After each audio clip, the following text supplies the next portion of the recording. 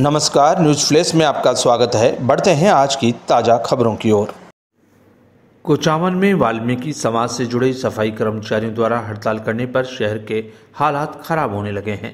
सफ़ाई कर्मचारियों की भर्ती में वाल्मीकि समाज को प्राथमिकता की मांग पर दो दिन से सफ़ाई कर्मचारियों ने शहर की सफ़ाई व्यवस्था ठप कर दी है।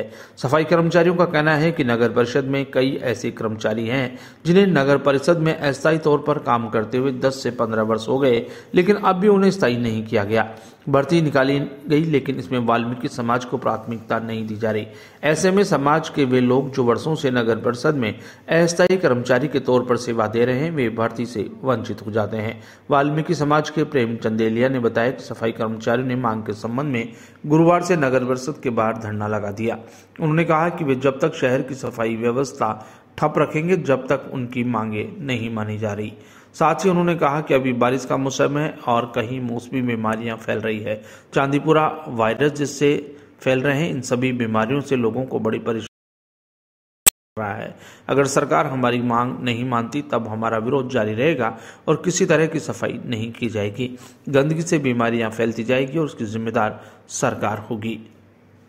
से आप अपनी मांग हम सरकार और प्रशासन से यही मांग करते हैं कि 2012 में जो भर्ती हुई थी, उसी के अनुसार वाल्मीकि समाज मेहतर समाज की भर्ती होनी चाहिए। जब भी सफ़ाई कर्मचारियों की भर्ती होती है, इसमें वरीयता वाल्मीकि मेहतर समाज को ही मिलना चाहिए। जबकि 2018 में भर्ती हुई, उसके अंदर में उन्होंने आरक्षण लागू कर दिया। आरक्षण के तहत हमारे पीछे एससी के अंदर जितनी भी जातियाँ थे उनको लागू कर दिया।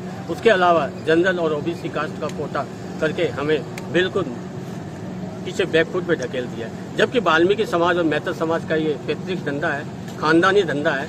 हम वर्षों से हमारी पीढ़ियाँ करती आ रही है।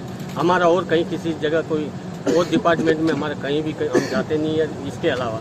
इसके अलावा हम जब ये एक जगह स्थिर हैं, हम कहीं किसी डिपार्टमेंट में प्रतिद्वंदता में नहीं जाते हैं न कहीं और जाते हैं। इस डिपार्टमेंट में हम अपनी कारगुजारी किसी तरीके से निभा लेते हैं। कहीं की घर वालों की मृत्यु हो जाती है तो मृत आश्रित नौकरी हम यहीं गुजारा कर लेते हैं। नई भर्ती आती है तो हम इस उम्मीद में रहते हैं कि आज हमारे बच्चे जो हम जो बुज़ुर्ग हो गए काम करते करते बूढ़े हो गए हमारी हड्डियाँ बूढ़ी हो गई है। हमारे बच्चे तो जवान हो रहे हैं। उनकी आस में हम इस, परिषद इस नगर निगम नगर पालिका में हमारे हार गला देते हैं। जब नियुक्ति होने का मौका आता है तो हमारे ऊपर आरक्षण थोप दिया जाता है। इसीलिए वाल्मीकि और मेहता समाज पूरे राजस्थान में आंदोलनरत है और कई जगह तो हमारे शाखाएँ आंदोलनरत हड़ताल पर बैठ गई है। कई और तैयारी करके बैठेगी। पूरे राजस्थान में ये कार्यक्रम चल रहा है। मुख्य मांग क्या है? मुख्य मांग यही है कि हमारा जो ये जब भी सफ़ाई सफ़ाई सफ़ाई कर्मचारी भर्ती हो उसमें बेहतर समाज को लिया जाए और इसके अंदर में एक अमेंडमेंट और किया उन्होंने। पहले जैसे जो काम करते थे तो दो साल का संविदा पीरियड था।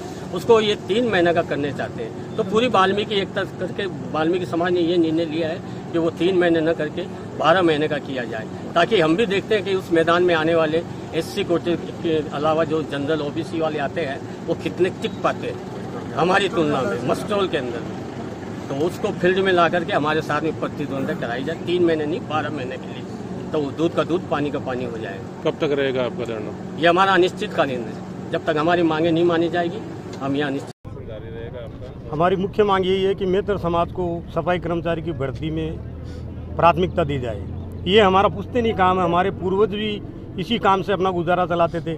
आज अगर अन्य कास्ट के लोगों को ये लगने लगा है कि मेहतर समाज शिक्षित और सम्मानित हो रहा है इस सफ़ाई कार्य की वजह से तो वो इस सफ़ाई कार्य में घुसना चाहते हैं। और पिछली सरकारों ने जो वसुंधरा सरकार ने ये लागू किया था कि अन्य कास्ट को भी इसमें डाल दिया गया वो गलत किया है।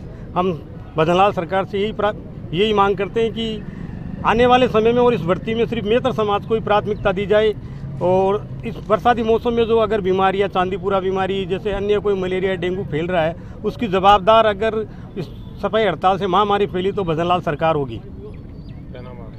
मेरा नाम प्रेम चंदेलिया है नवल साहेब विकास समिति कुचामन सिटी का महासचिव।